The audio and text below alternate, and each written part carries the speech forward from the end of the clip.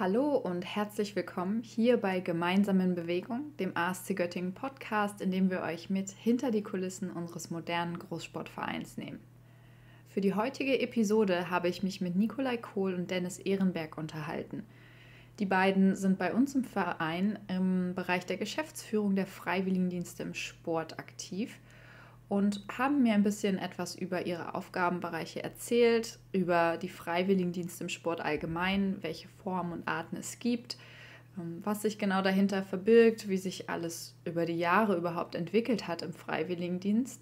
Und natürlich haben sie auch ein Abbild des aktuellen Status quo gegeben mit, dem, mit der Problematik des fehlenden Abiturjahrgangs hier in Niedersachsen und natürlich auch rund um die Corona-Situation, wie die den Freiwilligendienst im Sport verändert hat. Seid gespannt, was die beiden so zu erzählen haben und ihr erfahrt auch, wie gut sie sich eigentlich wirklich in ihrer Funktion der Doppelspitze vertragen. Viel Spaß beim Hören. Okay, herzlich willkommen, lieber Nico und lieber Dennis. Ernie, wie, wie möchtest du heute genannt werden im Podcast? Wie du magst. okay, also äh, kurze Erklärung für die Zuhörer. Ähm, Nikolai Kohl und Dennis Ehrenberg sitzen neben mir, die beiden Geschäftsführer aus dem Bereich der Freiwilligendienste. Oder was ist richtig? Geschäftsleitung, Geschäftsführung? Gibt es da Unterschiede? Ist egal. Ist okay. egal. Schulterzucken. Ähm, genau, aber Dennis ist hier im Haus eigentlich eher bekannt unter Ernie, wird von den meisten Ernie genannt. Deswegen würde ich das hier im Podcast mal so ganz locker so fortsetzen. Herzlich willkommen euch beiden. Danke, dass ihr euch die Zeit genommen habt. Vielen Dank für die Einladung. Danke. Genau, bevor wir auf eure Arbeit hier im ASC und so zu sprechen kommen, ähm, wie immer, so eine kleine Vorstellung für unsere Zuhörer wäre doch nett. Lieber Nico, magst du zwei, drei Sätze einfach mal zu deiner Person erzählen? Was sollte man über dich wissen? Ich versuche es in zwei, drei Sätzen zu machen. Also, ja, Nikolai Kohl, ich mache es mal klassisch, 41 Jahre, gebürtiger Göttinger, bin hier zur Schule gegangen, IGS, hier ganz in der Nähe vom Clubhaus, äh, IGS Geismar. Mhm. Habe an der Uni in Göttingen äh, studiert, wo ich auch neben Dennis, aka Ernie, äh, auch kennenlernen durfte. Sport und Pädagogik studiert. Ähm, genau. Bin seit ähm, dem 1.10., ähm, also heute tatsächlich, oh. vor neun Jahren hier als hauptberuflicher Referent im Bereich der Seminare eben eingestiegen beim ASC Göttingen und tatsächlich aber auch schon seit 2009 nicht mehr Göttinger, sondern eigentlich Hannoveraner, weil ich in Hannover wohne. Soweit von mir erstmal. Ja, Dennis Ehrenberg, Linda hat es ja eben schon vorgestellt, Ernie mein Spitzname, schon sehr, sehr lange und deswegen auch eigentlich so der gängigere Name. Dann kommt eher schon die Frage, wer ist eigentlich dieser Dennis? Wer ist eigentlich dieser Dennis, genau. Ja, ich komme eigentlich gebürtig äh, aus der Nähe des Maschener Kreuzes, oben bei Hamburg, bin Niedersachse, ganz wichtig für ehemalige Kollegen nochmal zu erwähnen. ähm, ja, mittlerweile 38 Jahre alt, bin 2002 nach Göttingen gekommen, in dem Wunsch Sportmanagement zu studieren, habe mir das über den Magister selbst zusammengestellt. Ja, und bin mittlerweile seit 2009 auch schon beim ASC. Sehr gut, äh, Nico, haben wir ja fast eine kleine Jubiläumsfolge hier mit deinen neun Jahren beim ASC. Herzlichen Glückwunsch dazu. Dankeschön. Ja, wurde ich auch von meinen lieben Kollegen heute schon äh, unerwarteterweise äh, erwähnt, äh, habe ich mich sehr darüber gefreut Ach, in der ja. Besprechung heute Morgen. Sehr aufmerksam. Ja, sehr aufmerksam. der Dennis. Sehr schön. Okay, jetzt haben wir also die klassischen Randdaten von euch schon mal abgehakt, würde ich sagen. Ähm, da wir ja in einem Sportverein sind, interessiert mich natürlich, was euch sportlich in eurem Leben eigentlich so bewegt. Ähm, kommt ihr aus einer bestimmten Sportart? Was habt ihr sportlich schon so gemacht in eurem Leben, ausprobiert? Ähm, genau, erzählt doch mal kurz darüber. Ich kann ja mal anfangen. Ich, sportlich aus der Jugend breit aufgestellt, habe die ganze, das ganze Sportangebot des, seinerzeit meines Heimatvereins durchprobiert. Komme primär aus dem Fußballbereich. Ähm, während des Studiums hat sich das dann gewandelt, mit einer Studententruppe beim Volleyball dann hängen geblieben, habe da jahrelang Volleyball gespielt. Und seit 2009 ist jetzt eigentlich eher so mein Bereich der Triathlon, dem ich mich jetzt eigentlich, wo es geht, verschrieben habe und wenn es die Zeit zulässt, auch ähm, versuche, meine Zeiten jedes Jahr zu verbessern. Ironman schon dabei gewesen? Nein. ich bleibe bei der Olympischen und wenn ich es irgendwann nochmal verletzungsfrei durch ein Jahr bringen sollte, dann äh, Mitteldistanz vielleicht nochmal. Okay. Nico, wie sieht es bei dir aus?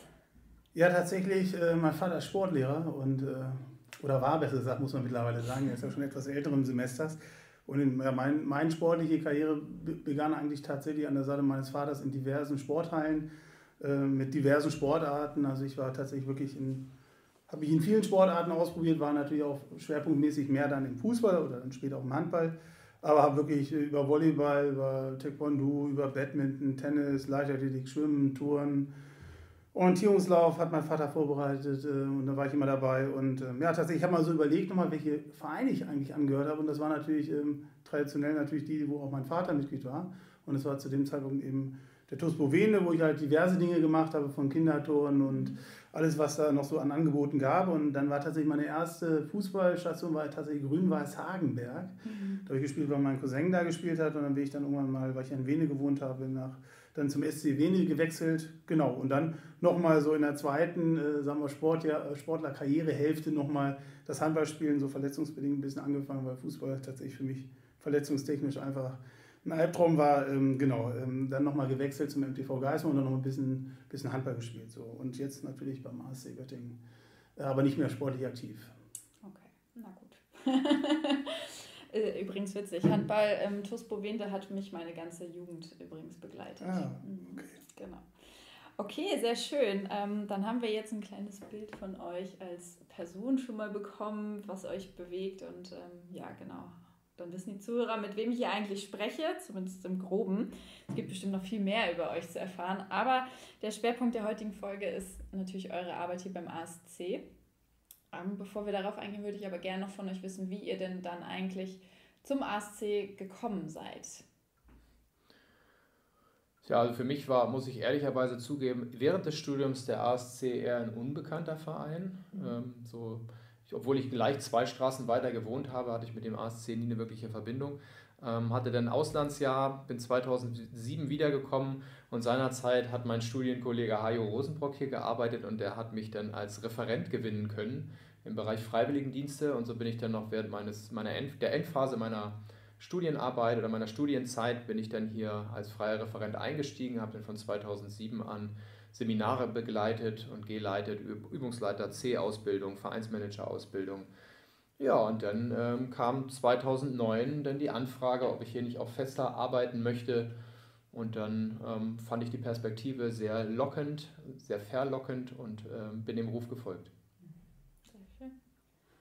Ja, als gebürtiger Göttinger ist der HC natürlich ein, ein Name gewesen. Vor allem in den 80er Jahren war das äh, natürlich durch den Basketball sehr stark geprägt. Ähm, aber zugegebenermaßen hatte ich ja die Vereine aufgezählt, da hat der HC mhm. erstmal nicht. Das hat einfach Wohnort äh, bedingt, äh, weil ich in Wien gewohnt habe zu dem Zeitpunkt. Ich bin auch über das Sportstudium, aber über einen anderen guten Kollegen, der heute auch sein Jubiläum hatte, nämlich 15 Jahre äh, Hauptberuflichkeit beim HC Göttingen, Ingo Danzberg, den ich im Sportstudium kennengelernt habe, äh, tatsächlich zum ASC gekommen, weil ich nämlich von dem lieben Ingo, als er 2005 nämlich äh, hier ähm, in, äh, beim ASC hauptberuflich angefangen hat, seine Fußball-AG an der, äh, an der Leineberg-Schule nicht mehr weiterführen konnte. Und die habe ich dann von ihm übernommen. Und da war ich als Übungsleiter in der Fußball-AG in der Leineberg-Schule ein paar Jahre und habe da die, die Kinder, die Dritt- und Viertklässler betreut für den AC. Und darüber dann über einerseits diese äh, Verbindung natürlich zu Personen, die hier schon beim AC mal tätig waren, ähm, dann tatsächlich auch in dem Bereich der freien Dienste 2008 als Referent und Lehrgangsleitung für die Übungsleiter-Lizenzlehrgänge äh, gekommen und ja, wie gesagt, seit 2011 eben als hauptberuflicher Mitarbeiter hier gelandet. Mhm. Sehr schön. Dann schauen wir jetzt in eure heutige Funktion. Ähm, wie schon gesagt, ihr seid im Bereich der Geschäftsführung der Freiwilligendienste tätig beide zusammen, Doppelspitze quasi, um das jetzt mal so auf die Spitze zu bringen. wie, wie funktioniert das denn überhaupt? Vertragt ihr euch? Passt das? um euch mal direkt aus der Reserve zu locken. Nein, also das klappt. Ich, ich antworte jetzt mal für uns, äh, klappt, klappt sehr gut. Ähm, wir sind beides klare Charaktere, die eine, auch eine klare Perspektive haben und ähm, aber auch sehr kooperativ zusammenarbeiten. Mhm. Und wir hatten seinerzeit auch die Möglichkeit, uns im Vorfeld, bevor wir die Doppelspitze übernommen haben, uns gut abstimmen zu dürfen. Es war bekannt, dass Frank Meinerzagen und Ole Fröhlich, die ja letztlich auch als so eine Art Doppelspitze hier fungiert haben, ähm, den ASC verlassen. Und wir rechtzeitig konnten wir, wurden, ja, wurden wir als Nachfolger ausgewählt oder hatten und auch bestätigt und konnten uns dann gut abstimmen im Vorfeld. Mhm. Da saßen viele Stunden zusammen und haben uns darüber ausgetauscht, wie wir die zukünftigen Aufgaben ähm, gemeinsam bewältigen wollen, wie wir das aufteilen. Und mit einer guten Vorbereitung klappt das dann in dem Alltag auch, weil für jeden das klar ist, wer ist jetzt verantwortlich für welchen Bereich, aber trotzdem bleibt es auch da, wir haben viele Schnittmengen und deswegen ist es auch wichtig und das klappt bei uns sehr gut, der Austausch untereinander. Wir unterstützen uns in den jeweiligen Bereichen. Da kann man sich auf die andere Person verlassen mhm. und daher klappt das echt gut. Sehr gut. Ich habe jetzt auch nichts anderes erwartet, um ehrlich zu sein. ähm, du hast es schon gesagt, Ernie, dass ihr ähm, zwar Schnittmengen habt, aber trotzdem auch klare Aufgabenverteilung in, euren, ähm, in eurer Funktion. Wie sieht das denn aus? Wer ist denn ähm, ja, in diesem Bereich für was zuständig? Ja, wir haben uns tatsächlich, wie gesagt, Ernie hat es ja besprochen, äh, tatsächlich die Zeit gehabt, auch äh, Gedanken zu machen, wie das funktionieren kann. Und haben gesagt, okay, eine, eine Aufteilung sollte es schon geben, aber da auch nochmal gesagt, wir machen wirklich tatsächlich alle Dinge, die wirklich auch bereichsübergreifend sind, die wir geteilt haben voneinander, äh, schlussendlich zusammen und besprechen alles zusammen und gucken halt da, wo es notwendig ist, dass wir die Sachen zusammenklären und da, wo es eben vorher schon besprochen worden ist, äh, müssen wir uns ja nicht mal absprechen. Also tatsächlich ist es so, äh, ich sage aber meins und dann sagst du, wie, wie wir uns das aufgeteilt, dein Teil. Also tatsächlich übernehme ich äh, im Bereich der Freiwilligendienste für den ASC Göttingen eben die Außenvertretung. Mhm. Was heißt Außenvertretung? Ich kümmere mich um ähm, die Kommunikation, die Zusammenarbeit mit unseren Kooperationspartnern hier im Besonderen natürlich im Freiwilligendienst der Landessportbund Niedersachsen mit seiner Sportjugend zu nennen, aber auch die Deutsche Sportjugend, die ja im FSJ unsere Zentralstelle ist, also da in dem Sportbereich natürlich, äh, mit dem wir stark zusammenarbeiten, ähm, bedarf es natürlich gewisser Abstimmungen und auch ähm, Strategiegespräche, wie es so weitergehen soll und äh, Herausforderungen, die natürlich gemeinsam äh, zu, zu meistern sind.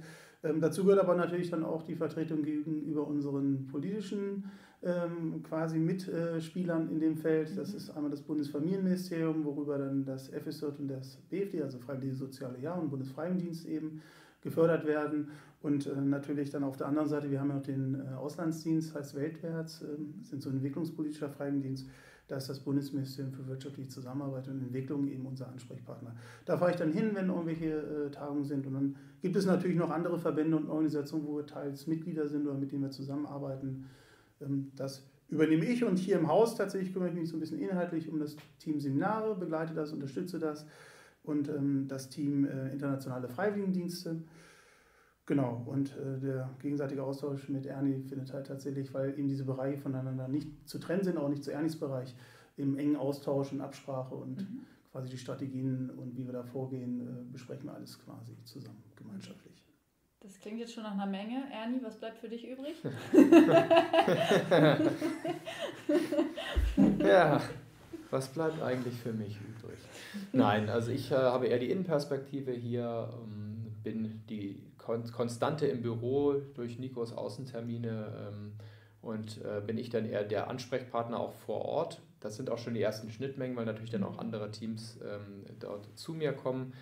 Ich bin die Vertretung im Vorstand, wenn da Anfragen kommen, also nach intern beantworte ich die Fragen. Ich kümmere mich vor allen Dingen in den Diensten um die Mittelabrechnung, also kümmere mich um den finanziellen Teil, dass die Mittel vernünftig abgerufen werden, dass die ähm, Gesamtverwendungsnachweise stimmen, dass die Anträge laufen. Ähm, bin für das Team Verwaltung dann noch verantwortlich. Ähm, da ist auch die, wir haben fachliche Zuteilung, eben aber auch personell in dem Zuge dann halt mit, mit Nico internationale Seminare, ich den Bereich Verwaltung, die uns dann direkt ansprechen. Ja, und ein Thema, das mich grundsätzlich immer schon umtrieb und auch weiter umtreiben wird, ist natürlich auch die Digitalisierung, den ich mich, der ich mich jetzt in den Freiwilligendiensten natürlich auch angenommen habe. Okay. Ich glaube, das Thema Digitalisierung werden wir auf jeden Fall im Laufe des Gesprächs auch nochmal aufgreifen, weil das natürlich ähm, gerade im Zuge von Corona auch nochmal einen ganz anderen Wert bekommen hat. Bevor wir da aber noch ein bisschen tiefer gehen, jetzt sind hier schon einige Begriffe gefallen. Nico, du hast von BFD und FSJ, wir sprechen über die Freiwilligendienste, international war was. Also ähm, vielleicht auch für diejenigen, die ähm, von den Zuhörern noch gar nicht so ein genaues Bild haben. Freiwilligendienste kann man sich vielleicht noch was vorstellen. Ähm, wenn ich jetzt nicht komplett falsch liege, ist der Freiwilligendienst oder das Freiwillige Soziale Jahr in seinen Ursprüngen mal sozusagen als Alternativprodukt zum Zivildienst so ein bisschen entstanden, mehr oder weniger. Ist das richtig? Nicht ganz, also wenn man da, da muss man tatsächlich schon noch mal ein paar Jahre zurückgehen. Ähm, das in, in den 60er Jahren gab es einen, Pflegenotstand, also es war nicht genügend Personal, also ähnlich wie jetzt, mhm. quasi Dinge wiederholen sich. Und äh, es wurde sich überlegt, wie können wir denn äh, junge Menschen in den Beruf bekommen und dafür interessieren. Und dann ist dieses Sozi freiwillige soziale Jahr entstanden. Das ist aber ganz außerhalb vom Sport. Der Sport ist relativ mhm. spät erst dazugekommen. Ich meine, ähm, dass ähm, die ersten Träger im Sport Ende äh, der 90er waren. Wir hier in Niedersachsen waren ab 2002 tatsächlich dabei, ein FSJ im Sport äh, zu tun. Und da ging es tatsächlich als Alternative zum Zivildienst. Also du mhm. konntest dann entweder, äh, wurdest du als Mann äh, eben eingezogen, zu, konntest zur Bundeswehr, hast verweigert, hast dann Zivildienst gemacht, oder du konntest dann eben auch ersatzweise eben das in einem Sportverein machen ähm, und äh, dann eben entsprechend ein FSJ, ein freiwilliges soziales Jahr im Sport machen. Ähm, tatsächlich ähm, durch die Aussetzung 2011 äh, der Bundeswehr, also das äh, wurde ja nur noch ähm, rudimentär männliche ähm, ähm, äh, junge Menschen gezogen, ähm, da wurde das ausgesetzt, das heißt mit der Aussetzung der Wehrpflicht ist auch quasi die Pflicht zum Zivildienst ausgesetzt worden. Mhm. und aufgrund dessen, äh, dass das natürlich eine große Relevanz gerade auch in der Pflege und im Krankenhaus und in dem Bereich hatte, ist eben der Bundesfreiwilligendienst entstanden, äh, der dann eben parallel zum Freiwilligen Sozialen Jahr entsprechend ähm, ja, steht. Man muss wissen, der eine Dienst, das Freiwillige Soziale Jahr, also das FSJ, das ist ein Länderdienst, also da ist eigentlich, haben die Länder den, den, den Hut auf und der Bundesfreiwilligendienst ist ein Bundesdienst. Aber wir haben, um, um auch unsere Zuhörer mit diesem um, ja, formalistischen Zeug nicht zu nerven oder irgendwie zu ermüden, ähm, machen wir das halt von Anfang an so, dass wir eben nur von Freiwilligendienst im Sport reden und dann unterscheiden wir ehrlicherweise nur, machen wir jetzt hier einen in Niedersachsen, äh, einen, einen Freiwilligendienst im Sport und äh, ob es dann ein FSJ oder BFD ist, unterscheiden wir ehrlicherweise, machen wir keine große mhm. Differenzierung. Es hat einen kleinen Unterschied, dass die, die den BFD machen, noch fünf Tage politische Bildung machen müssen. Da komme ich auch gleich nochmal zu. Das ist so der einzige Unterschied. Aber wir behandeln die beiden Formate gleich. Mhm. Versuchen wir das so gut wie möglich. Ähm, und dann gibt es eben noch die Möglichkeit, äh, ein besonderes Projekt zu machen. Das ist in Kooperation mit der Alfred Töpfer Akademie hier in Niedersachsen der NNA. Ähm, das ist ein FÖJ im Sport, was noch möglich ist. Mhm. Und äh, ich hatte ja vorhin erwähnt, wir bieten auch nochmal einen entwicklungspolitischen Freiwilligendienst ins Ausland zu unseren Partnerländern. Das ist Südafrika, Namibia, mhm. Äh, Sambia, Ruanda, Uganda und Tansania. Sobald es wieder losgehen kann, mhm. weil das liegt jetzt gerade brach. Ähm, wo dann entsprechend so ein Jahr auch außerhalb im Ausland stattfinden kann. Mhm.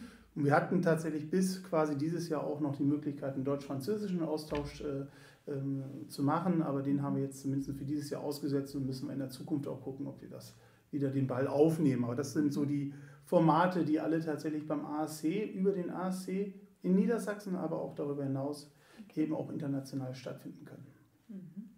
Spannend. Vielfältige Möglichkeiten. Ähm, klingt natürlich auch nach viel Arbeit. Jetzt äh, stellt sich nur die Frage, welche Rolle spielt denn jetzt der ASC überhaupt in diesem Konstrukt? Also wir als Sportverein, was haben wir mit der Organisation vom Freiwilligendienst überhaupt zu tun?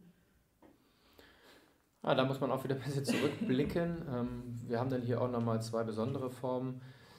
Man spricht so schön von Zentralstellen und Trägern, aber ich fange an anderer Stelle nochmal an. 2002 ist das FSJ im Sport als Projekt ausgelobt worden und wurde über den Landessportbund Niedersachsen begleitet. 2004 gab es einfach Umstände, dass der LSB dieses Projekt nicht fortsetzen konnte und hat nach einem Partner gesucht, mit dem das weiter durchgeführt werden kann, dass diese Chance, die wurde seinerzeit schon erkannt, für junge Menschen eines solchen Dienstes eben bestehen bleibt. Und dann hat sich der ASC Göttingen mit seinem Vorsitzenden Jörg Schnitzerling seinerzeit bereit erklärt, dieses personelle Risiko auch einzugehen ähm, und das Projekt voranzutreiben. Und seitdem gibt es in dem Bereich eine Kooperation. Mhm. Im FSJ ist es jetzt so geregelt, dass der, die Deutsche Sportjugend eine Zentralstelle ist und wir sind dieser als Träger angeschlossen. Okay. Mit unseren Kernaufgaben eben der pädagogischen Begleitung, die, also die Freiwilligen zu begleiten, Seminare zu organisieren und sie eben auch das, das Jahr zu reflektieren, mhm. um dass wir diesem Bildungs- und Orientierungsjahr eben auch gerecht werden. Im Bundesfreiwilligendienst, der eben 2011 dazu kam, ist dann eine besondere Rolle. Da ist der ASC dann als Zentralstelle im Bundesfreiwilligendienst anerkannt worden. Und jetzt sind wir also im Sport in so einer Doppelstruktur. Wir sind in einem FSJ sind wir ein Träger und im Bundesfreiwilligendienst sind wir eine Zentralstelle neben der zweiten Zentralstelle Deutsche Sportjugend. Wir sind aber auch dort im engen Austausch und arbeiten gemeinsam zusammen, um eben die Rahmenbedingungen im Sport gleichzuhalten. Mhm. Also dass wir uns nicht von der DSJ entfernen, sondern wir sind da in einem sehr engen Kontakt und ähm, setzen halt entsprechend die Rahmen für mhm. Niedersachsen und bundesweit im Sport gemeinsam. Okay, ziemlich verflochten alles, habe ich das Gefühl. Ähm, und das heißt also, als Träger bzw. Zentralstelle für die jeweiligen Bereiche ähm, sind wir dann tatsächlich auch verantwortlich für alle Freiwilligendienstleistenden in Niedersachsen oder sogar bundesweit. Ähm, Vielleicht kannst du da noch mal ein bisschen Licht ins Dunkel bringen, Nico. Ja, also tatsächlich, wenn wir jetzt in Trägerstruktur denken, dann tatsächlich für Niedersachsen erstmal in erster Linie. Wir haben im BFD noch weitere Träger, die uns angeschlossen sind. Das ist die Bremer Sportjugend, das ist der Deutsche Tischtennisbund und der Deutsche Turnerbund. Aber äh, wie Anni schon sagte, passiert das halt in engen Austausch äh, mit der DSJ, um da keine Doppelstrukturen aufrechtzuerhalten. Aber ich glaube, ich weiß gar nicht, ob das so interessant ist, sondern interessanter ist, was ist denn eigentlich so ein Freiwilligendienst bei uns? Und ähm, das ist tatsächlich so, das ist ein, ähm, ja, das ist ein Bildungs- und Orientierungsjahr und es ist vor allem sehr stark auch verbunden mit Seminaren. Und das ist so die Rolle, die du gerade gefragt hast. Also unsere Rolle, wie wir sie verstehen, ist, die Freiwilligen eben als Träger zu begleiten, die in einer Einsatzstelle, das kann eine Sportverein klassischerweise, kann aber auch eine Schule sein, kann aber auch ein Bewegungskindergarten sein, also alles, was mit Schwerpunkt Sport zu tun hat, eben zu begleiten. Das heißt, von A bis Z, was die Verträge angeht, die zu, zu erstellen, um unsere meist ehrenamtlich geführten Vereine zu unterstützen, die da als Einsatzstelle fungieren. Oder dann natürlich auch ein ganz großer Teil natürlich die Seminare, die Pflichtseminarteile, die damit einhergehen. Das sind 25 Tage bei zwölf Monaten. Das ist dann ein Stückchen weniger, wenn man ein bisschen weniger macht, weil ein Freiwilligendienst ist zwischen 6 und 18 Monate möglich. Und das zu organisieren, das ist wirklich eine große Aufgabe und auch eine tolle Aufgabe weil wir haben mal geguckt, in den letzten Jahren hatten wir so um die 1000 Freiwillige allein in Niedersachsen, für, für die wir das getan haben. Und daraus resultieren mehr als 150 Lehrgangswochen, die dann von Montag bis Freitag gehen. Und bei 52 Wochen im Jahr kannst du dir vorstellen, das sind dann drei Lehrgänge, die pro Woche mit tollen Inhalten, äh, ULC-Lizenzausbildung, aber auch tollen Fachlizenzen wie Tennistrainer, Tischtennistrainer, Fußballtrainer, Handballtrainer. Wir haben noch äh, Rudern hatten wir im Angebot, ähm, äh, Volleyball, Leichtathletik, Schwimmen kommt jetzt noch dazu. Äh, Handball habe ich glaube schon gesagt. Also wirklich eine, riesen Bandbreite, Vereinsmanager vor allem. Das ist auch noch eigentlich, die, eigentlich ein kleiner Side-Kick an der Sache, weil als ich 2011 anfing und Ernie ja schon hauptberuflich arbeitete, äh, habe ich damals von ihm die Vereinsmanager-Lizenzausbildung damals im Seminarteam übernommen und äh, mhm. genau, auch eine, auch eine tolle, also wirklich eine Vielfältigkeit äh, an Möglichkeiten hier äh, das Jahr auch noch zu nutzen, um tolle äh, Kompetenzen und Fähigkeiten zu, zu erlernen und sich auszuprobieren in einem tollen Kontext mit ganz vielen anderen Freiwilligen. Ähm, das ist auf jeden Fall dafür, fühlen wir uns verantwortlich, dort eine gewisse Qualität sowohl gegenüber unseren Einsatzstellen, aber auch gegenüber unseren Freiwilligen entsprechend zu ermöglichen.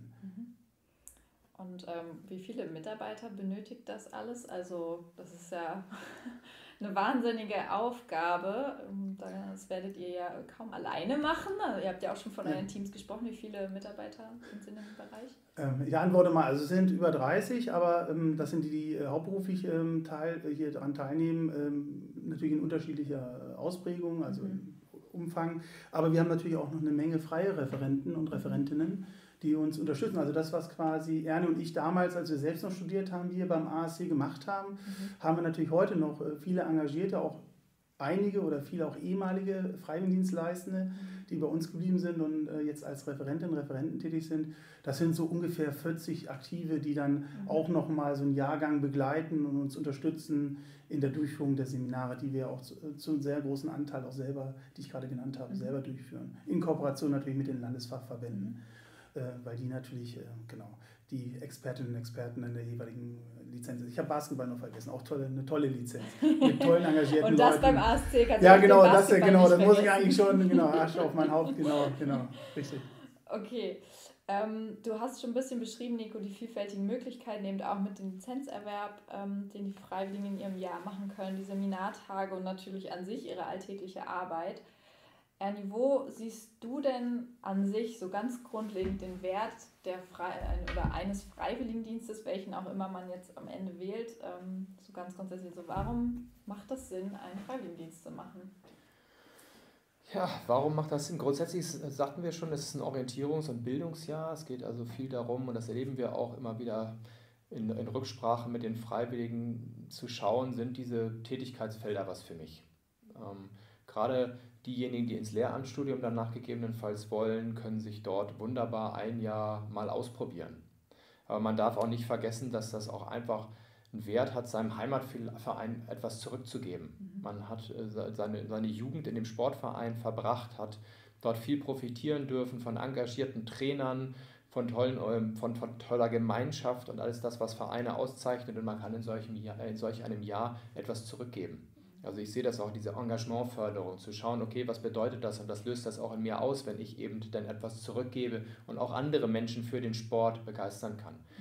Wir merken, und das sind vor allen Dingen auch noch stärker in unseren internationalen Diensten, einfach diesen ganzen Bereich Persönlichkeitsentwicklung. Mhm. Also egal ob man jetzt in einem Sportverein äh, bei sich zu Hause das freiwillige Soziale macht, in eine Schule geht oder eben auch nach Südafrika fliegt, alle machen einen gewaltigen Sprung. Mhm. Die Selbstständigkeit wird gefördert und ähm, das Engagement kommt mit rein. Es gibt viele Impulse über die Seminare darüber hinaus. Mhm. Also sie gehen alle verändert wieder raus und damit meine ich positiv verändert.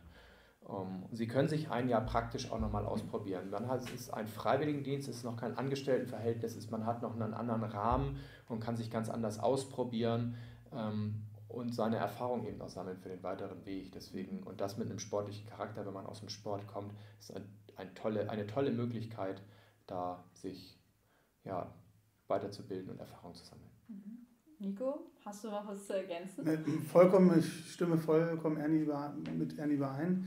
Äh, was natürlich noch aus sportpolitischer Sicht nochmal wichtig ist, ist tatsächlich diese, dieses Arrangement und vor allem diese Förderung des Arrangements. Also junge Menschen mit äh, der ehrenamtlichen Tätigkeit, beispielsweise in so einem Sportverein, eben in Verbindung zu bringen und äh, schlussendlich, und das ist tatsächlich auch, muss der organisierte Sport auch schauen, eben auch Nachwuchs zu bekommen und zu generieren. Und das ist eben eine hervorragende Möglichkeit, entsprechend Leute mit dieser Form des ähm, zivilgesellschaftlichen Engagement, bürgerlichen Engagement in Verbindung zu bringen und auch noch eine große Chance, die auch für sich zu gewinnen. Mhm. Und ähm, das ist auf jeden Fall ein wesentlicher und ein ganz wichtiger Punkt. Und für mich ist es ein Endeffekt, das muss man auch einfach sehen, es ist, es ist zwar freiwillig, aber es ist eigentlich ein Dienst an der Gesellschaft.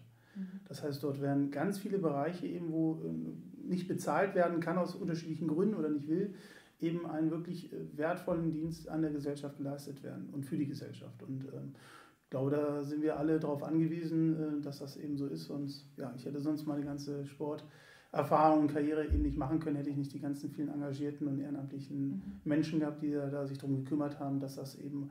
diese Angebote gibt. Das muss man so ganz klar sagen. Mhm. Okay, dass das total sinnvoll ist, ähm, ist auf jeden Fall bei mir und ich hoffe auch bei den Zuhörern angekommen. Jetzt wäre natürlich noch die Frage, für wen ist denn so ein Freiwilligendienst überhaupt geeignet? Also wir hatten ja darüber gesprochen, dass es ursprünglich ähm, sich vor allem auch an Schulabgänger oder eben die ähm, jungen ähm, Erwachsenen zum, oder jungen ähm, Männer gerichtet hat, die zum Beispiel eben nicht äh, Zivildienst machen ähm, wollten oder die das als Alternative hatten. Ähm, richtet sich denn der Freiwilligendienst wirklich nur an ähm, so junge Menschen, ähm, die jetzt gerade vielleicht aus der Schule kommen und noch vor dem Studium was machen wollen? Oder wie sieht das aus? Wir merken immer stärker, also wir haben, unser Schwerpunkt ist schon primär, ähm, sind die, die jungen Menschen aber einfach, weil sich das so entwickelt hat. Einen mhm. Freiwilligendienst kann man grundsätzlich aber machen von 16 bis 99. Also oh, wir haben okay. Unser Schwerpunkt ist schon mit Schulabgängern, die einfach das noch nutzen wollen, bevor sie ins Studium oder in die Ausbildung gehen wollen, um ein Jahr lang was anderes zu machen. Aber es gibt ja auch den BFD Ü27, ähm, der extra auch nochmal ausgelegt ist, den man in Teilzeit machen kann. Ähm, und spüren da auch immer mehr Personen, die aus dem Berufsleben ausscheiden und einfach auch nochmal ein Jahr etwas zurückgeben wollen. Und dann gibt es ja da auch nochmal die Seminare, Möglichkeiten und ein kleines Taschengeld ähm, gibt also auch wieder Vorteile, die sich dann aber auch nochmal wieder für ein Jahr lang engagieren okay. und das eben im Rahmen eines äh, BFD Ü27 dann machen. Mhm. Spannend, okay. Also nicht nur was für junge Menschen, sondern für jede Generation eigentlich geeignet. Für alle. Für alle. Genau. Cool. Und sie müssen nicht nur sportaffin, also sie müssen nicht sportaffin sein, sondern es reicht auch einfach sportlich interessiert. Mhm. Also es ist jetzt auch nicht Bedingung, dass man zwingend aus dem Sport kommt, sondern es ist okay. wirklich für alle, für, für alle und für jeden offen. Für den Sport begeisterungsfähig zu sein im Sportverein fallen ja auch viele Aufgaben an. Es geht ja nicht nur um die reinen Sportstunden. Ich denke, da gibt es ja viele Möglichkeiten, sich im Sportverein einzubringen. Und ähm, ja, sehr schön, spannend. Ähm, Ein Thema, was euch aber sicherlich jetzt auch dieses Jahr ähm, bewegt oder wahrscheinlich sogar mehrere Themen. Ich ähm, weiß ja, dass ihr in großen ähm, Pläne, Plan, Plan, Plänen wart dieses Jahr, weil euch ähm, ein Thema ganz arg trifft, nämlich dass es keinen Abiturjahrgang ähm, gibt aufgrund der Umstellung von G8 wieder auf G9. Ähm, Jetzt würde mich eben interessieren, wie stellen sich die Freiwilligendienste dieses Jahr dar, eben aufgrund dieser Thematik und vielleicht, weil es auch zusammenhängt, wie spielt Corona da noch mit rein? Ähm, was sind so die Themen, die euch gerade bewegen? Wie hat sich das jetzt gerade alles entwickelt? Ich würde da vielleicht gerne mal ein bisschen ausholen. Also das mit dem fehlenden Jahrgang wissen wir schon seit einigen Jahren und bereiten uns auch seit viel, äh, vielen Jahren intensiv darauf vor. Also schon seit 2017 ist das für uns ein ganz, ganz wichtiges Themenfeld, dem wir uns angenommen haben und haben auch seitdem versucht, die Einsatzstellen mitzunehmen. Weil wir sind auf der einen Seite der Träger, der die Freiwilligen begleitet über das Jahr, aber die Freiwilligen, und das haben wir, haben, spüren wir immer stärker und wussten wir auch, haben einen ganz, ganz hohen Wert für die Einsatzstellen. Also die Einsatzstellen planen Freiwillige für sich in das Jahr schon wirklich stark mit ein. Und für uns war natürlich nicht abzuschätzen, was bedeutet das für den Sport und für die Einsatzstellen eben auch, wenn die Freiwilligen dann nicht da sind. Das heißt, wir haben uns intensiv dieses Themas angenommen und wussten um die Bedeutung davon und haben bereits 2000, Anfang 2019 mit einer sogenannten Roadshow sind wir, haben wir 34 Termine in ganz Niedersachsen angeboten, wo wir wirklich in die Sportregionen gefahren sind und versucht haben, die Vereine dafür schon zu sensibilisieren, dass in 2020 es keinen Abiturjahrgang gibt mhm. und man eben schon gemeinsam geschaut hat, wo kriegt man sonst engagierte Menschen hin, wie kann man dieses Jahr überbrücken, hat man in den Vereinen jemanden, der dort vielleicht sogar noch verlängern möchte, einen Freiwilligendienst oder ja, sind das gemeinsam mit den Vereinen angegangen. Ähm, bei dem einen oder anderen war es einfach ein bisschen zu früh, das ist so in ehrenamtlichen Strukturen, mhm. dass es dort auch andere Probleme gibt und ähm, konnten da sind dann aber eigentlich fühlten wir uns ganz gut ähm, sensibilisiert und vorbereitet mit den Vereinen und den Einsatzstellen halt in diesen Jahrgang hinein und dann kam halt eben Corona, das noch eine zusätzliche Herausforderung natürlich darstellte. Mhm. Ähm, und letztlich aber kann man so sagen, in der Nachbetrachtung, und das, was uns von ein, manchen Einsatzstellen auch zurückgespiegelt wurde, eigentlich sich positiv wiederum auf die Gewinnung von Freiwilligen auswirkte weil wir immer häufiger rückgemeldet kriegen, dass halt viele junge Menschen keine Lust haben auf ein digitales Studium, also einen mhm. digitalen Studieneinstieg, mhm. wo halt man mit den anderen Menschen nicht zusammenkommt, wo man halt keine Bindung, gerade in neuen Universitätsstädten, wo man alleine hinzieht, ähm, nicht gewinnen kann mhm. und sich dann eben doch nochmal für ein Jahr Freiwilligendienst entschieden haben, sodass wir jetzt tatsächlich so die Ziele, die wir uns und auch gemeinsam mit den Einsatzstellen gesteckt haben, wo wollen wir hin, ähm, um den Vereinen eben zu helfen, tatsächlich auch erreichen konnten. Okay, cool. Und übertroffen haben, ehrlicherweise. Mhm. Ähm, ja, genau. Ähm, Ernie hat das schon gesagt. Ähm, ist natürlich mit, man muss es ein bisschen, also der fehlende Abiturjahrgang ähm, ist nicht wirklich ein fehlender Abiturjahrgang, sondern ähm, ist, der fehlt nur an den Gymnasien. Es gibt noch ein paar Schulen, Berufsschulen. Okay ähm, ähm, und dann äh, integrierte und äh, kooperative Gesamtschulen, die noch weiterhin einen Abiturjahrgang haben oder die freien Waldorfschulen schon, aber das sind nicht so viele. Mhm. Ähm, eigentlich von so 32.000 sind das jetzt schlussendlich so 12.000, 13.000, die es nur gemacht haben. Okay. Und man muss eben wissen, dass ähm, tatsächlich, und das ist eben auch ein Fakt eben einfach, dass ein Großteil unserer Freiwilligen eben mit, mit einer Bildungsbiografie, die eben das Abitur mhm. in sich trägt, zu uns kommen. Das heißt, so 75 bis 80 Prozent sind das, Dementsprechend trifft uns das äh, hier in Niedersachsen halt besonders mhm. stark. Ähm, aber ähm, wie gesagt, ähm, wir haben uns da lange darauf vorbereitet, haben unsere Einsatzstellen, die unsere ja, direkten Partner vor Ort sind, eben versucht, bestmöglich darauf vorzubereiten. Und Corona war in der Hinsicht äh, auf jeden Fall vielleicht gar nicht äh, hinderlich, sondern eher begünstigend, sodass tatsächlich wieder noch ein paar mehr erhalten haben, als wir uns eigentlich äh, erhofft oder gewünscht haben. Mhm. Ähm, anders ist das natürlich ein Stück weit für unseren äh, Auslandsfreiendienst, mhm. ähm, der, ähm, wo wir eigentlich dachten, dass der in diesem Jahr überhaupt keine Probleme hat. Ne? Also das ist mhm. mal so mit Prognosen, die man dann irgendwann mal anstellt, was sie für eine Haltwertszeit oder für eine Richtigkeit am Ende des Tages hatten. Äh, wir dachten eigentlich, dass wir ähm, hier in Niedersachsen deutlich schlechter stehen, als wir jetzt stehen. Und international konnten wir uns natürlich gar nicht ausmalen, dass sowas wie Corona äh, überhaupt stattfinden kann und äh, was das für Auswirkungen hat. Der Bereich liegt zugegebenermaßen äh, vollkommen flach, also mhm. auch brach, um es genau zu sagen. Also Entsendungen gar nicht möglich. Ja.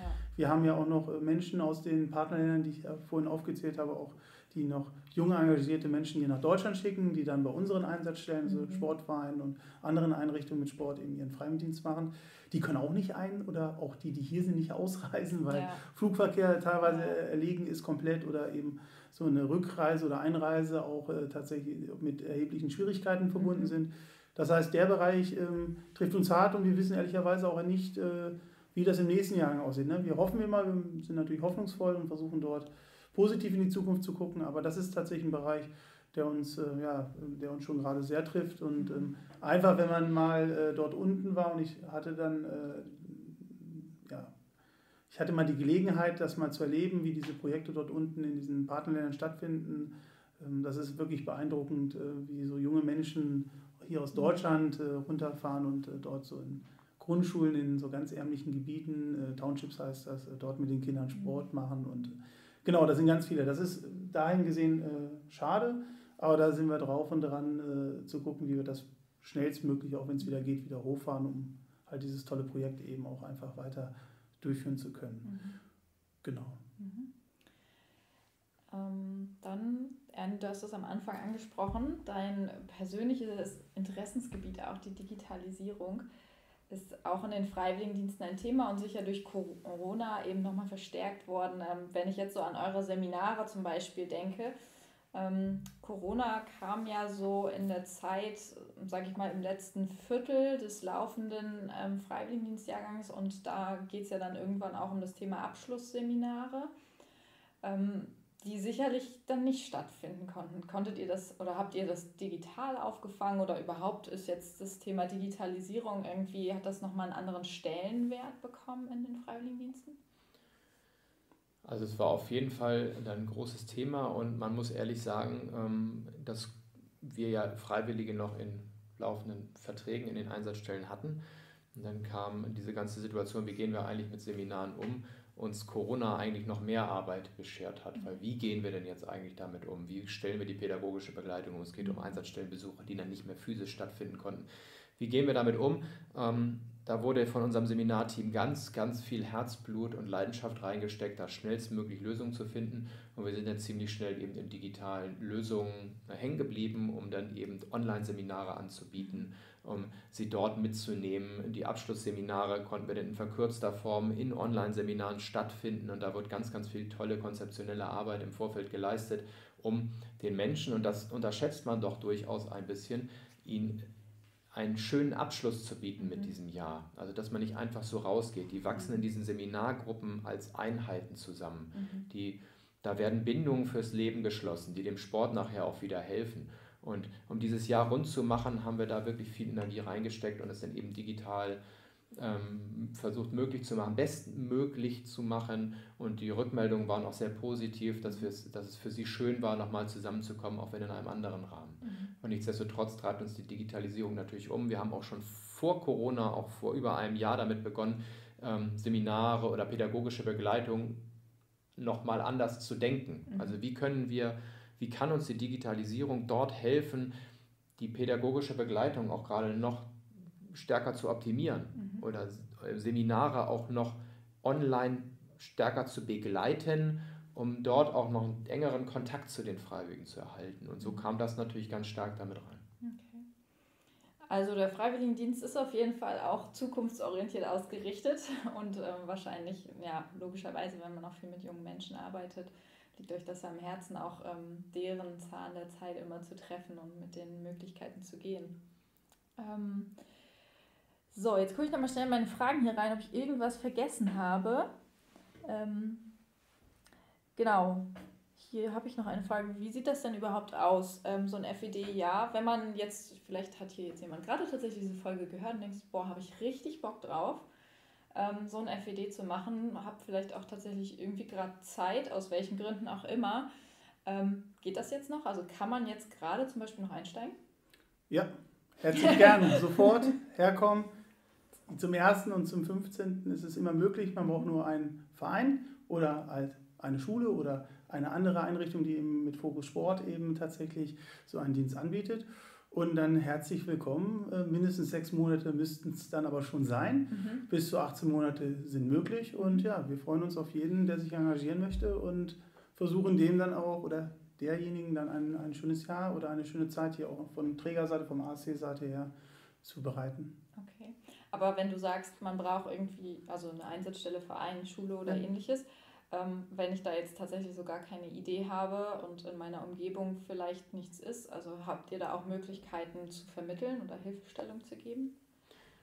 Ja, also grundsätzlich kann man uns immer anrufen. Es gibt auch Stellenausschreibungen, findet man bei uns auch auf der Homepage. Mhm. Ähm, wir arbeiten auch immer noch an einer überarbeiteten Version unserer Einsatzstellenkarte, dass man auch eben digital dann mhm. sehen kann, wo sind noch freie Plätze, wo kann man, wen kann man wie ansprechen. Mhm. Ähm, also jederzeit kann man uns anrufen und wir versuchen dann auch eben an der Stelle zu unterstützen. Okay. Ja, sehr schön. Ich bin zumindest all meine vorbereiteten Fragen losgeworden ähm, an dieser Stelle zum Bereich Freiwilligendienst. Ihr seid aber natürlich die Experten dafür. Ähm, ich kann ja nur so mir überlegen, was vielleicht interessant sein könnte. Gibt es etwas, was wir in unserem Gespräch vergessen haben, was man aber unbedingt über die Freiwilligendienste noch erzählen sollte? Oder haben wir alles? Ich glaube, du hast super Fragen gestellt. Es ist alles. Wir hoffen, dass natürlich das äh, Positive und ich glaube, dass er und ich das beide genauso sehen. Äh, wir beide brennen für den Dienst äh, und finden den einfach super und wir glauben halt einfach, es muss natürlich für jeden passen, es ist vielleicht nicht für jeden, aber wir sind fest davon überzeugt, dass das wirklich eine tolle Zeit ist, mhm.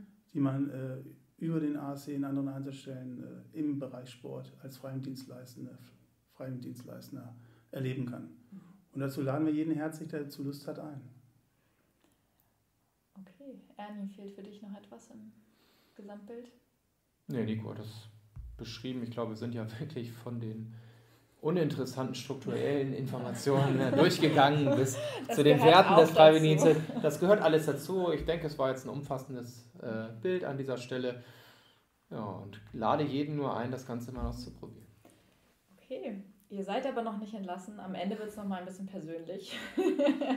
und zwar habe ich noch drei Abschlussfragen für euch, ähm, die ihr mir beantworten dürft. Und zwar würde mich interessieren, gibt es für euch einen prägendsten ASC-Moment? Kollege kann man leider nicht hören, sieht mich gerade an, dass ich beginne. Also tatsächlich habe ich darüber nachgedacht und äh, wie ihr mich kennt, kann ich mich da nicht kurz halten. Also es für mich gibt es tatsächlich nicht einen, also es sind wirklich viele. Aber wenn ich jetzt sage, welche Momente sich mehrfach wiederholt haben, aber die ich so Richtung einprägendsten äh, ähm, Momente eigentlich so für mich im ASC, vor allem im Bereich der Freiwilligendienste habe, ähm, ist tatsächlich ähm, die Entwicklung von jungen Menschen, die ich, äh, als ich selber noch in Seminaren war, äh, die begleiten konnte, die innerhalb dieses Jahres vollzogen haben, die nicht zu, nur zu begleiten, zu beobachten, sondern auch ein Teil dieser Entwicklung sein zu dürfen, habe ich als wirklich äh, wirklich schöne und lohnenswerte Tätigkeit empfunden. Äh, das ist der eine Punkt, ähm, aber dennoch äh, hängt mir noch ein bisschen so die ÜLC-Tätigkeit, also die Übungsleitertätigkeit hier beim AC mit den Kindern in der Leinebergschule, ne, ähm, die einen dann abgefeiert haben dafür, dass man mit denen ein bisschen Fußball gespielt hat. Ist wirklich, also ich glaube, ich habe weniger, also ich habe weniger für noch weniger, also mehr Applaus für weniger äh, Leistung bekommen wie da. Also es war wirklich, war wirklich fantastisch und für meine Kolleginnen und meine Kollegen, ihr merkt, es ist nicht einbringendster Moment, ist natürlich immer so ähm, das Miteinander Kolleginnen und Kollegen. Und da fallen mir tatsächlich einfach unsere ASC Weihnachtsfeiern ein, die mit Abstand wirklich das Grandioseste sind, äh, die das Ganze dann auch nochmal würdigen, die äh, tolle äh, Zusammenarbeit, die wir hier und auch das Gefühl, was man hier hat, eben dann auch irgendwie darstellt, für mich zumindest. Mhm. Dein prägendster ASC-Moment, Ernie, ich bin ganz gespannt. Ja, ich auch, ich auch. Ähm, ich habe das ähnlich, ich darf jetzt schon elfeinhalb Jahre hier beim ASC sein und ähm, durfte auch schon in unterschiedlichen Bereichen arbeiten und wenn ich bin, ich habe irgendwann für mich jetzt den Weg entschieden, okay, gehe vielleicht mal die Bereiche durch. Was war denn das alles so? Also ich glaube für mich natürlich ein prägender Moment oder so, so, so eine prägende Situation waren Abschlussseminare immer schon seinerzeit, als ich angefangen habe in den Freiwilligendiensten die enge Kontakte zu den Freiwilligen vermittelten, wo man nochmal einen Impuls setzen konnte, dass sie dem Sport erhalten bleiben und nochmal eine enge Bindung auch kriegt zu Ende. Ich beschrieb es ja gerade, dieses, mhm. dieses Freiwilligendienst Rundmachen, was wirklich schöne Augenblicke waren mit den jungen Menschen und viele hat man durchaus später echt wiedergesehen. Entweder haben sie für uns gearbeitet oder in anderen Sportorganisationen ähm, hat man sie wiedergefunden. Das war wirklich sehr schön und freut auch heute noch, wenn man da die Kontakte hält. Ähm, andere prägende Momente, ich habe Veranstaltungen organisieren dürfen. Für mich waren so eine Boxnacht, das waren tolle Veranstaltungen, ehrenamtlich organisiert, mit Fachbereichen zusammen. Mhm. Und das ist auch etwas, was mir was mich dann auch überleiten lässt, mir sind sowas wie Sommerfeste auch, da wo. Ehrenamt und Hauptberuflichkeit zusammenkommt, einfach immer noch schöne Augenblicke, schöne Momente, weil das ist letztlich auch das, was ich an dem Verein schätze, das ist Gemeinschaft, das sind Sportvereine, gemeinsam für Dinge zu brennen und die mhm. zu bearbeiten und ob nun hauptberuflich oder ehrenamtlich und da Hand in Hand zu arbeiten, das waren natürlich tolle Augenblicke auch immer. Mhm. Ich glaube, da können wir gut dran anknüpfen mit meiner nächsten Frage. Vervollständige mal den Satz, der ASC ist für mich. Jetzt darfst du direkt Jetzt darf ich, ne? Ich mache gleich weiter mit der ASC ist auf jeden Fall für mich Gemeinschaft. Gemeinsam mit, mit, äh, mit Kollegen gemeinsam mit Ehrenamtlichen. Ähm, eine tolle Gemeinschaft. Für mich ist der ASC Vorreiter in ganz vielen Bereichen ähm, und ist auf jeden Fall ein innovativer Sportverein, der aber auch viel Persönlichkeitsentwicklung betreibt mhm. in alle Bereiche hin. Mhm. Sehr schön. Nico, der ASC ist für dich? Der ASC ist für mich das, was Ernie gerade gesagt hat, äh, plus vielleicht nochmal so ein bisschen berufliche Familie. Mhm. Und ähm, ein wirklich facettenreicher, mutiger, zukunftsgerichteter Verein, Sportverein, ähm, ohne den all diese Projekte, die wir jetzt auch teilweise hier vorstellen durften, äh, gar nicht äh, geben würde, wenn die, ähm, der AC als solches mit seinen über 11.000 Mitgliedern nicht bereit wären, diese Wege zu gehen und dieses Risiko auch zu gehen, solche Projekte zu machen. Ähm, das ist für mich der AC und dementsprechend einfach der, der weltbeste Sportverein, selbstverständlich. Ja, uh. Sehr schön, direkt Weltbester. Hier kommt ein kritischer Blick von der anderen Seite. Das kann ja, warum guckst du denn so kritisch, Ernie? Wer guckt denn hier kritisch? Schlägt da etwa noch ein anderes Vereinsherz? Nein. Ja, in, in, Rauten, würde ich sagen. In rautenförmiger Rauten. Weise. Ja, genau. Naja, immerhin so ein bisschen ähnliche Farbgebung. Das lassen wir jetzt einfach mal so stehen. Ja, sehr gut. Und dann äh, zu allerletzt. Sportvereine sind wichtig, weil Nico? Weil unsere Gesellschaft auf die Arbeit, die dort geleistet wird und die Angebote, die dort zur Verfügung gestellt werden, einfach nicht verzichten kann. Sonst wäre aus meiner Sicht Deutschland nicht annähernd so schön, wie es jetzt ist. Ja, für mich auch, weil ein wichtiger Teil für die Gesellschaft und für die Gesundheit unserer Bürger eben auch fit zu bleiben. Ja, Vielen Dank für diese schönen Antworten. Vielen Dank für eure Zeit. Ähm, ich hatte euch eigentlich angekündigt, wir brauchen so 30 bis 40 Minuten. Wir haben ein bisschen länger gebraucht. Ich hoffe, das ist jetzt nicht so schlimm. Ähm, ja, ich danke euch auf jeden Fall und vielen Dank für dieses Gespräch und all die Informationen, die ihr gegeben habt. Ich wünsche den Freiwilligendiensten auf jeden Fall ähm, eine tolle Zukunft und ganz viele freiwillige Engagierte auch für die nächsten Jahre, dass es dann weiter so gehen kann. Und ja, wer weiß, vielleicht kommen wir irgendwann nochmal im Podcast zusammen und dann mal gucken, was es dann zu erzählen gibt. Ich danke euch. Vielen Dank, Linda. Wir danken dir. Vielen Dank. Sehr gerne. Ich hoffe, diese Folge hat euch gefallen und ihr konntet einige spannende Dinge erfahren und für euch mitnehmen. Hinterlasst uns gerne einen Kommentar in den sozialen Medien zu dieser Folge und gebt uns euer Feedback, eure Gedanken dazu. Oder ja, schreibt uns eine E-Mail, wenn ihr Anregungen habt, Wünsche für Interviewpartner oder ähnliches, was wir mal aufgreifen sollen. Unsere E-Mail-Adresse lautet podcast.ast46.de. Ansonsten abonniert am besten direkt hier den Podcast. Wenn ihr das noch nicht gemacht habt, dann verpasst ihr keine der kommenden Folgen mehr. Wenn ihr noch mehr über unseren Verein an sich erfahren wollt oder unser Sportangebot näher kennenlernen möchtet, dann schaut doch gerne mal auf unserer Homepage asc46.de vorbei. Und ansonsten könnt ihr uns eben auch in den sozialen Medien gerne folgen. Dort nehmen wir euch auch immer noch mal mit und berichten darüber, was in unserem Verein alles so passiert. Ansonsten freue ich mich, wenn wir uns bald wieder hören und bis dahin bleibt sportlich und bleibt gesund.